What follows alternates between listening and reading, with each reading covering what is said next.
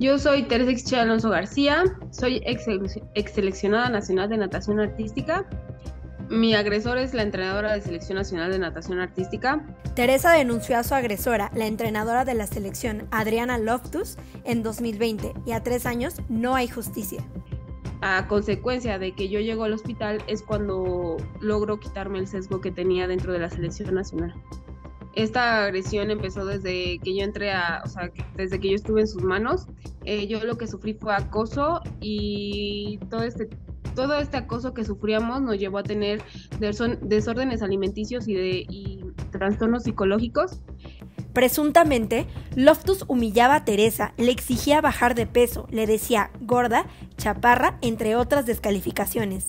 Por ejemplo, a mí me llevó a tener bulimia, anorexia, depresión severa, ansiedad severa y todo esto llevó a que yo tuviera anemia y un sangrado de tubo gástrico que estaba chaparra, que tenía brazos cortos y piernas cortas, que estaba gorda, a pesar de que mis resultados mostraban otra cosa, o sea, mis porcentajes grasos y masa muscular, ella me decía que no, que, o sea, para su vista yo era gorda. Pero el caso de Tere no es el único, pues otras compañeras también han denunciado abusos por parte de Loftus.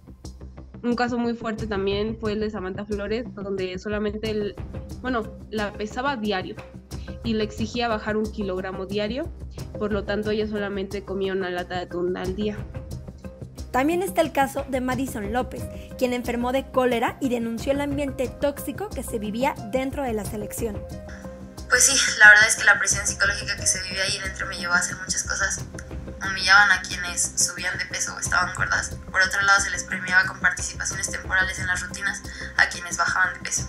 Perdí 9 kilos y 10% de grasa.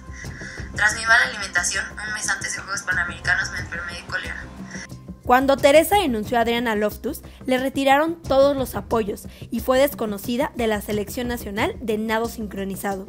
Este no es un caso único, sino esto ya hay una demanda ganada en el año 2016 por las mismas razones hacia la misma persona eh, apenas fui a la Hemeroteca Nacional donde encontré denuncias desde 1987. Eh, sí sigue elaborando esta persona, sigue estando dentro del equipo de selección nacional de natación artística. A tres años, la carrera de Teresa ha sido atrasada y aunque Adriana Loftus tiene muchas denuncias por sus abusos como entrenadora, autoridades siguen encubriéndola. Para Yo Influyo, Carla Martel.